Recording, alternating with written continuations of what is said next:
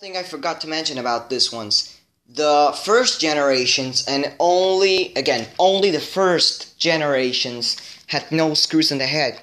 How did you open the head? You had to take the ears out.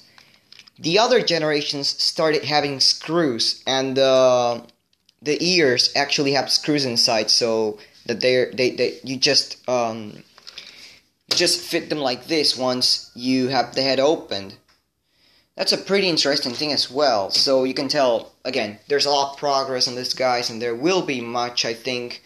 Though I don't know how much they could improve them now, I mean, or, or, or make them worse. I only would like them to keep the original, you know, um, torso, body design, arms design. It's, it's really cool, and I really like it. As far as I know, there are only two designs of body, which are there's one that looks like a like a square body, which is the Robot Fighters, and there's another one from the Chrome Crusader. That's this one, which is the round, uh, futuristic body design. I would prefer robots with this futuristic body design, since the other one looks kind of boring. However, the other one actually work, walks pretty good. So another thing again, another thing is that the old ones moved very slow, like kind of slow. The new ones move very fast, really, look.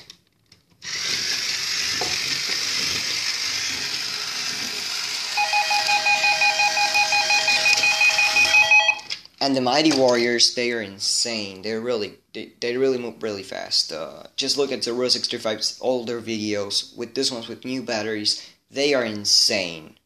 So, yeah. That's it, guys. Um, sorry about the uh, things that I forgot, but yeah nobody's perfect, and we can all just fail in something. So it, this has been Zadakleader 635. Thanks for watching, everyone, and I I wait a fifth generation of this robots. I really hope they make them again. Maybe better, maybe with different sounds. Uh, of course, I, I always expect the same action, the same body design, but different sound. Like maybe maybe in the new generation they could actually make these guys to talk instead of making random sounds. Let's give me an example. Instead of instead of making beep, beep, beep, or or those sounds, they could actually make them say something like destroy, destroy, or just like the turbo fighters, but without pausing the mechanism.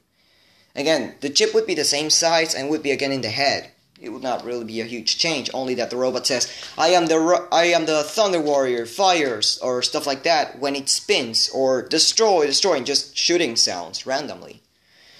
So yeah, uh, this has been Zadakleader, six three five. Thanks for watching and bye.